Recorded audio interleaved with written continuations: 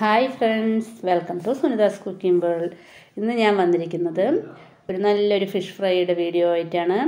നമുക്ക് ചോറിന്റെ കൂടെയൊക്കെ കഴിക്കാൻ പറ്റുന്ന അടിപൊളി ഫിഷ് ഫ്രൈ ആണ് തയ്യാറാക്കുന്നത്. അപ്പോൾ വീഡിയോയിലേക്ക് പോകുന്ന മുമ്പായിട്ട് എപ്പോഴും പറയുന്ന പോലെ എന്റെ ചാനൽ ഒന്ന് സബ്സ്ക്രൈബ് ചെയ്യുക. തൊട്ടടുത്ത് കാണുന്ന ബെല്ലൈക്കൻ കൂടെ ഒന്ന് ക്ലിക്ക് ചെയ്യുക. അപ്പോൾ നമുക്ക് വീഡിയോയിലേക്ക് പോവാം. അപ്പോൾ ഞാനിതാ ഇവിടെ ഒരു അര കിലോ മീനോളം എടുത്ത് കഴുകി വൃത്തിയാക്കി വെച്ചിട്ടുണ്ട് കീറിയൊക്കെ വെച്ചിട്ടുണ്ട്. നമുക്ക് ആവശ്യമുള്ള മസാലകളൊക്കെ ചേർത്ത് കൊടുക്കാം. മുളക് പൊടി ഒരു രണ്ട് സ്പൂൺ ചേർക്കുന്നുണ്ട്. രണ്ട് നല്ല എരിവുള്ള മുളക് പൊടിയാണ്.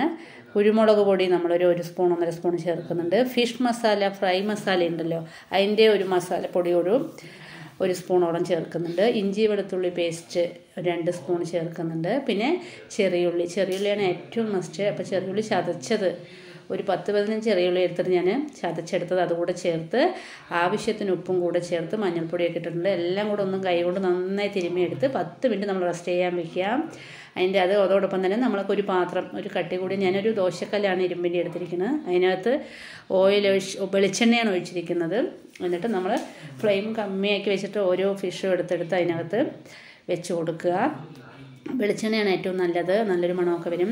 അപ്പോൾ അതൊക്കെ വെച്ച് കൊടുത്തോണ്ട് നമ്മളൊരു അഞ്ച് അധികം കട്ടിയില്ലാത്തതായത് കൊണ്ട് തന്നെ നമ്മൾ വലിയ മീനല്ലാത്തത് കൊണ്ട് നമുക്ക് കുറച്ച് നേരം കൊണ്ട് തന്നെ വേഗം ഫ്രൈ ആയി കിട്ടും.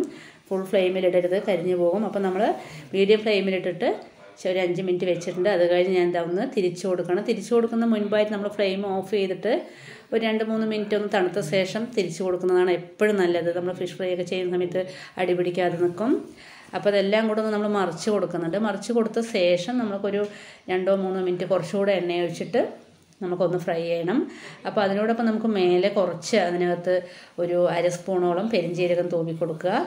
അപ്പോൾ തൂവിയൊക്കെ കൊടുത്ത് ഇത് റെഡി ആയിട്ടുണ്ട്. അപ്പോൾ നമുക്കിനി കറിവേപ്പില മല്ലിയിലയൊക്കെ ഒന്ന് മേലെ തൂവി കൊടുത്ത് കഴിഞ്ഞാൽ നമ്മുടെ ഫിഷ് ഫ്രൈ റെഡി ആയിട്ടുണ്ട്. അപ്പോൾ നിങ്ങൾക്ക് എല്ലാവർക്കും ഇഷ്ടമായി ഞാൻ വിചാരിക്കുന്നു.